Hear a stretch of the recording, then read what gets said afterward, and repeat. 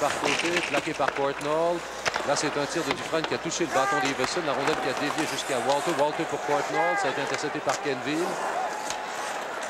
Encore une fois, là, c'est Courtnall qui intercepte le but. Russ supérieur, un lancé de très loin, lancé du poignet. La vue obstruée, c'est un disque qui a échappé à Sidorkiewicz. La rondelle qui est passée sous la barre horizontale, en pivotant sur lui-même. Courtnall a décoché son tir sans avertissement. Carbonneau, rejoint par Anderson, remet à Courtnall un tir arrêté à la défense. Rondelle qui revient à Dufresne. Voilà son tir et le but! Voilà, un lancé de, Donald Dufresne. Son premier but, Gilles. Oh, oh, son premier but. Tu as vu la danse à la ligne bleue, sa réaction. Tippett qui a remis à Iverson. Voilà son tir et la rondelle qui dévie le but. Oh. Un tir dévié avec 7 minutes 8 à faire en troisième. C'est 3 à 3. Hayward n'avait pas de chance. Richard, la rondelle qui a touché le bâton du défenseur.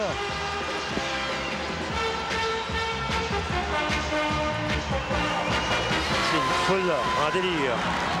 Un but marqué avec 7 minutes et 8 à faire. Surveillez ici le jeu. La rondelle qui va dévier sur Peter Svoboda. Et on crée l'égalité. 12 minutes 52 secondes. On revoit cette séquence. Côté à McDermott qui a poussé, mais c'est intercepté par Carbonneau. Carbonneau qui fait chuter Kenville, s'approche du filet, le but! Guy Carbonneau, qui l'a bien joué, qui l'a bien joué. de Sylvain Côté. Côté qui peut dégager son territoire avec une passe en diagonale, bien intercepté par Guy Carbonneau. Là, c'est Turgeon. Turgeon qui a remis à Babbage. Babbage, euh, voilà le tir de Shai, le but! Oh, c'est 4 à 4. Eh bien, on n'a pas mis de temps. On disait qu'il restait beaucoup de temps, Richard, plus de 5 minutes. On vient de voir deux buts à l'intérieur d'une minute.